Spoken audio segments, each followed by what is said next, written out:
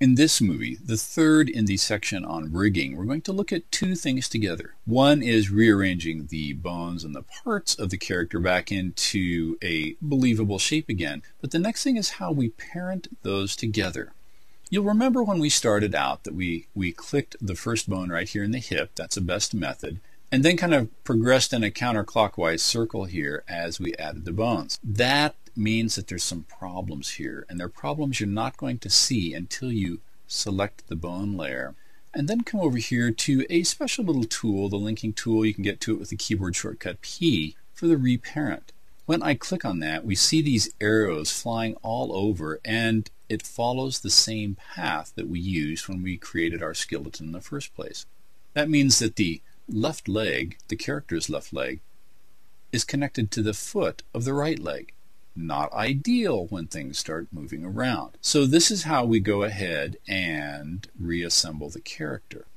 I'll be using a combination of keyboard shortcuts. B for the bone selection tool, and that happens to be right up here.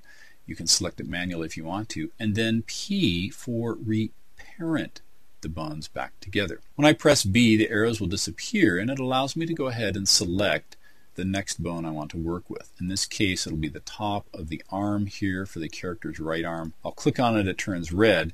Now I'll press the keyboard shortcut P for reparent, or you can come over here and click on the little linking bone. I'll go ahead and select P, and now I'm going to go ahead with, since this bone is highlighted, it's turned red, I'm going to come over here and connect it to the middle of the three bones we created in the torso and you'll see this arrow realigns. Very fast, speedy process. So let's go ahead and do this to the rest. I obviously don't want the leg connecting to the hand. We'll connect that directly to the hip. So B to select the bone, and then P to reparent. Very fast. Let me go ahead and do that here. And we'll get all these lined up in no time so that we have something reasonable to work with. So now the head goes to the top of the neck, the arms come in about the middle. I didn't want the arms joining to this top bone, so it gives me a chance to move the head a little bit with some, some neck influence on the torso. And of course, this is all connected back down to the hip bone.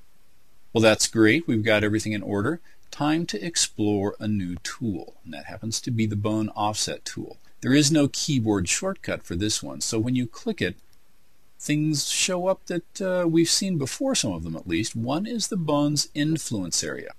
Now this is a great time if you want to adjust the bone influence. You get a visual cue for it. Personally, I like to do it after the character has been assembled and then I can see how it's actually starting to bend a little bit and get a better idea of exactly how the influences need to be adjusted. So the first thing I'll do is just leave the offset tool selected and I'm going to reassemble the character now. The hip is the primary bone, the first one in the inverse kinematics chain that everything is connected to. So when I click on the lower bone here for the torso and pull it down, see what happens? The arms, which are connected to the torso, and the head, which is connected to the torso, also move along with it. And I'll get that lined up just about like this. I'll have to mention I'm working with a new file here. It's just kind of an iteration of what we've been working on rigging 0603 and I noticed before we got into this that I had the torso actually underneath the hips so this, this fat stomach wasn't hanging over the belt like I wanted. Well now that we moved the torso, the arms moved with it, I can actually click on the top bone for the arm and drag that over to something that looks like a believable spot. This isn't a one-way trip. You can adjust this, you can fix these and tune it up later on as you see how your character moves. In this case I'll put that arm about there and we'll grab the head and just connect it to our character's body right here like this. Finally, we go to the legs, bring those up underneath there, and move this about back to there. Pretty easy, isn't it?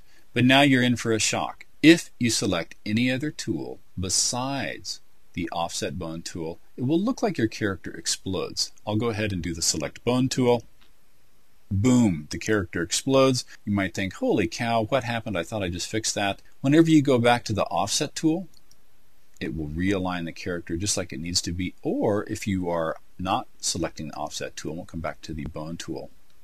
If I advance the timeline and just move the little time marker over, the character automatically reassembles at frame 1.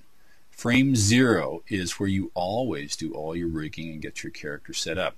And the program remembers that. So if you need to make adjustments to bone influences like we'll be doing in our next movie, then that's how you do it. It comes right back to frame 0. With that said, let's go ahead and move on to our next movie and adjust some of these influences and see how we can test that.